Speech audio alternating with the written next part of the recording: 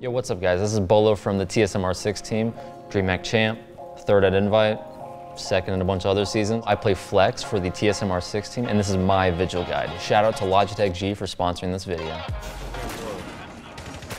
That's a Zoe top. I got Ash. Yeah, you're 90 under laundry. Laundry dead.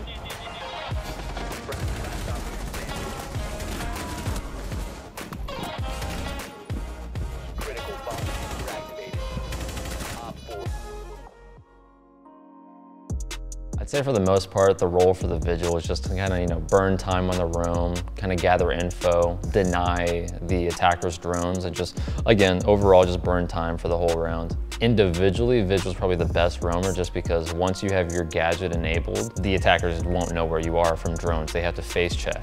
To be honest, I think Vigil can kind of be incorporated into every map for the most part. It kind of just depends on the setup of the defenders and how you want to play out the round. If you want to play, you know, more loosely, more, you know, kind of like a roam structure, then you're going to want like a vigil, maybe some Mozzie and some mute. But if you're going heavy, heavy utility and like site, you're not going to want to run a vigil. Vigil's just, again, just the best roamer there is.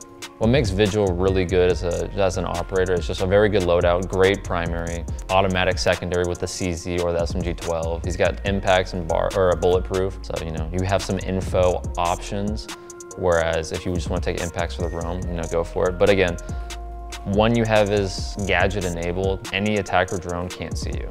And that is extremely powerful when you want to just kind of rat around and burn out time on the roam.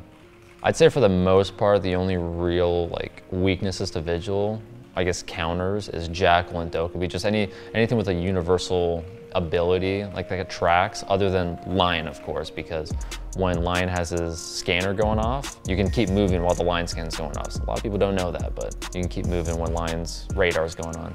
But I think for the most part, I guess my playstyle kind of works with it, just kind of, you know, burning time on the roam. When I need to, I can try to make a play on like the flank right when they're about to execute, kind of help this guy's in site from, you know, losing the round. I'd say for the most part on Vigil's attachments, if you're not running angled, you're trolling. But other than that, it's kind of preference. I use angled flash hollow for the primary, for the K1A, but um, the, I guess the secondary is what really comes to, you know, preference. Some people use the CZ, I use the CZ. Some people use the SMG-12. I do see the benefit just because, you know, you actually have a, an actual sight on the SMG-12, but I think the CZ is better overall. Or same thing goes for the BOSG with the uh, angled grip. If you run the BOSG, you're trolling. Don't, don't use the BOSG. To be honest, as a Vigil, I'd say I'm probably running like 50-50 on whether I take a bulletproof or impacts. Again, just if there's a lack of info on the other operators on your lineup, you're just gonna take the bulletproof, put it in site, put it wherever. But other than that, just impacts for the room. it's always helpful. Make a rotate, you know, pretty impromptu if you, if you need to. I'd say for the beginning of a round as a vigil, I usually kind of run around with my scanner on, of course, um, to see where drones are. Because if you have your scanner on and there's a drone nearby, you'll get like a, like there's little fuzzies on the bottom of your screen. It increases the closer you get to a drone. So it's just kind of gauging where the attackers are trying to come from or just, you know, deny their pre-placed drones just so they have less info at the very start of the round. In the very prep phase, of course, reinforce, maybe reinforce three or four because Vigil doesn't have a whole lot of setup. And then after that, just go and try to hunt drones and figure out where the attackers are planning to come through. So when I'm on the roam, for the most part, I don't get in a whole lot of gunfights early. I kind of wait to the very last couple seconds of the round. So I can help with the side execution on the attacker side. So when I do get in that gunfight, I want to rely on my equipment. So my Pro X Superlight, I have to know that it's going to help me win the fight against the attackers at the very end with a very crucial part of the round, which will eventually determine if we lose or win. So again, my mouse is everything to me on the roam. I've also never really been a fan of heavy mice, especially you know for really long like scrim sessions or anything like that, or even ranked.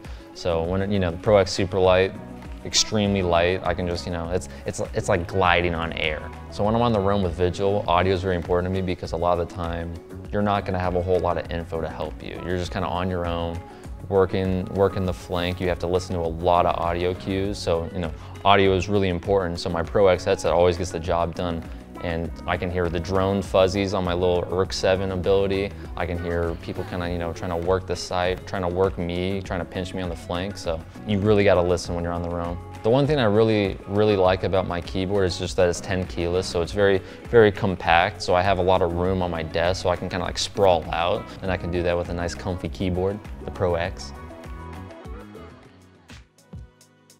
A lot of the times a nice, well-placed bulletproof can eventually win around, but so can some impacts. So on the roam, I like to use a lot of my impacts as sound diversions or, you know, like, I mean, if you're gonna wanna push, like, let's say the right side, you can throw an impact on the left, kind of distract the attacker, make them look towards the left, and then you push the right. On the roam, you have a lot of time to think and about how you want to um, kind of work the flank. So you can definitely kind of distract and kind of diverse the attacker's attention so you can, you know, kind of strike.